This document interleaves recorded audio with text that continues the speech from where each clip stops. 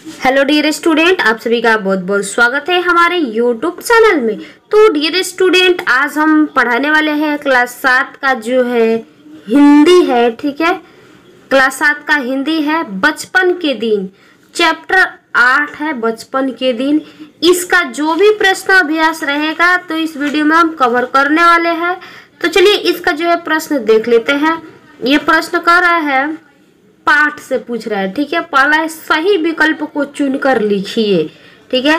पहला कर रहा है, अ में भूतपूर्व राष्ट्रीय एपीजे अब्दुल कलाम का जन्म जन्म जो हुआ था, बिहार में, उड़ीसा में, तमिलनाडु में, कर्नाटक में। तो ये जो सही हो जाएगा, तमिलनाडु में, ठीक है? गौ नंबर जो है, सही हो जाएगा।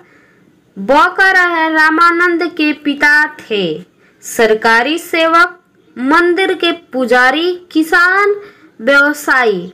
तो जो है, ये सही हो जाएगा। मंदिर के पुजारी, यानी कि ख नंबर सही हो जाएगा। सौ नंबर में कह रहा है, अब्दुल कलाम के बचपन के कितने पक्के मित्र थे? दो मित्र थे, तीन, चार, पाँच। तो आपको सही मारना है, इसमें टिक लगाना है।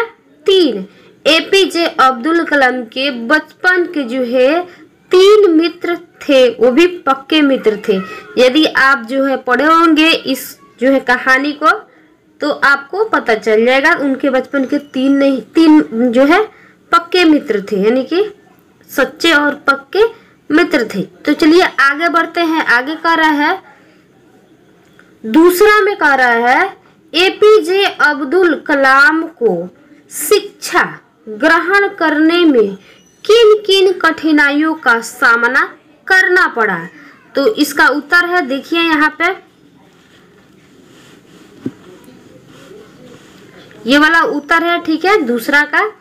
एपीजे अब्दुल कलाम साहब को जिन जिन कठिनाइयों का सामना करना पड़ा, ये जो सामना करना पड़ा, उसमें से यह तीन कठिनाइयाँ प्रमुख है। वैसे तो उनकी जो है पढ़ाई करने में बहुत सारी कठिनाइयाँ आया, लेकिन हमने जो है तीन यहाँ पे लिखे हैं, ठीक है? पहला कठिनाइया, उनका आया आर्थिक कठिनाइया। दूसरा आया सामाजिक असमानता एवं सांप्रदायिकता। तीसरा आया मुसलमान, लड़के के साथ एक हिंदू लड़के पास बैठकर पढ़े यह अच्छा नहीं लगता, नए टीचर को, ठीक है? तो चलिए अब जो है, तीसरा क्वेश्चन देख लेते हैं। तीसरा क्वेश्चन कर रहा है, रामानंद के पिता ने दोस्त, दोनों दोस्तों के प्रति भेदभाव का व्यवहार करने वाले शिक्षक से क्या कहा? और ऐसा उन्होंने क्यों कहा? तो चलिए इसका उत्तर देख लेते हैं। इसका उत्तर जो है बहुत सिंपल सा है। रामानंद के पिता ने दोनों दोस्तों के प्रति भेदभाव का व्यवहार करने वाले शिक्षक से कहा। उन्हें निर्देश, निर्दोष बच्चों के दिमाग में इस प्रकार की सामाजिक असमानता एवं सांप्रदायिकता का विष नहीं घोलना चाहिए। ऐसा उन्होंने इसलिए कहा कि योग्य शिक्षक बच्चों में भेदभाव उत्पन्न नहीं करते। शिक्षक को जाति, धर्म, संप्रदाय, गरीब, अमीर, ऊंच, नीच आदि भेदभाव से सदैव अलग रहना चाहिए। ठीक है? तो ये रहा उसके बाद से जो है इसमें का जो है पूछ रहा है पाठ से आगे।